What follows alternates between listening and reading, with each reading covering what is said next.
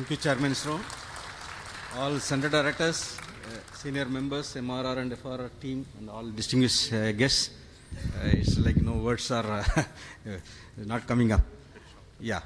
Sir, this is like, you know, uh, never before attempt. It's a bouquet of uh, three experiments put together, and we have now seen the fragrance and the, uh, the characteristics of all three systems with what we wanted to test through this experiment or this mission the test vehicle, the crew escape system, the crew module, everything. I think we have uh, like no perfectly demonstrated in the very first attempt, but for the initial hitch, but that's nothing of a problem at all.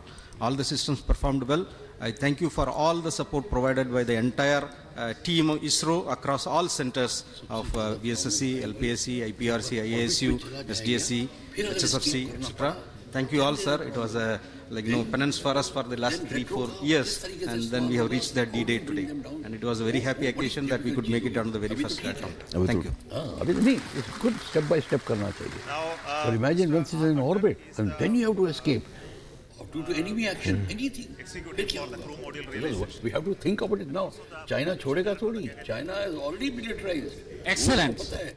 Hearty congratulations to all, my dear team ISRO and Team India.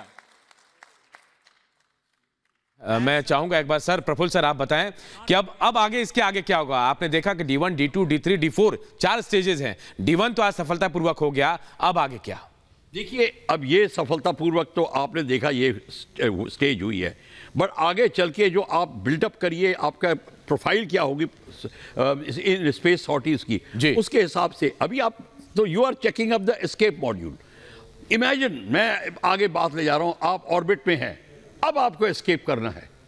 Escape करने के कई reasons हो सकते हैं। अगर aircraft खराब space में problem आ रही है।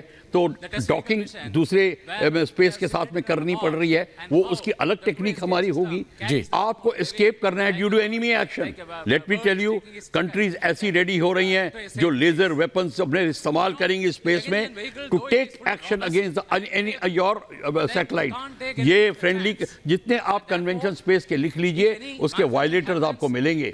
उसमें क्या होगा और how do you escape from there तो उसकी अलग टेक्निक्स होंगी, उसकी अलग ट्रेनिंग होगी, उसकी अलग टेक्नोलॉजी बनेगी और वो सारी की सारी चीज़ देखी जाएगी रिट्रीविंग दोज पीपल बैक वो कैसे होगा एट व्हाट स्पीड्स अभी तो मैक वन की just close to Mach one ये सेपरेशन हुई है but suppose it is Mach 18 Mach 20 and what thing उस टाइम हीट इतनी आ जाती है कि आपका पूरी की पूरी जो बॉडी होती है, लाल हो जाती है। और उस फायर के कारण, जो हीटेड सरफेस के कारण आपकी टेक्नोलॉजी में मेटलर्जी में बड़ा चेंजेस लाने पड़ेंगे और ट्रेनिंग में बड़े चेंजेस लाने पड़ेंगे, जो हाई जी आप इस्तेमाल करेंगे, उसको किस तरीके से weightlessness specially if you have civilians on board फिर क्या होगा? ये सारी की सारी चीज़ों का पूरा व्हाइट पेपर लिखा जाएगा। और उसके बाद धीरे धीरे हमारे साइंटिस्ट स्टेप बाय बिल्कुल प्रोफेसर और जो मुस्कुराते चेहरे इस वक्त जो तस्वीर श्रीहरिकोटा से आ रही है वो तस्वीर ये बताने के लिए काफ़ी है कि इस मिशन की सफलता के पीछे कितनी ज़्यादा मेहनत होगी। बहुत जल्द लौटेंगे फ़िलहाल वक्त तो चला एक बहुत छोटे से ब्रेक का कहीं जाएगा नहीं।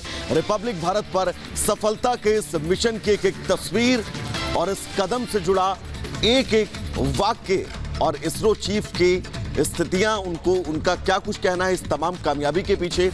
ब्रेक के बाद आपको बताएँगे, फ़िलहाल एक छोटा सा ब्रेक।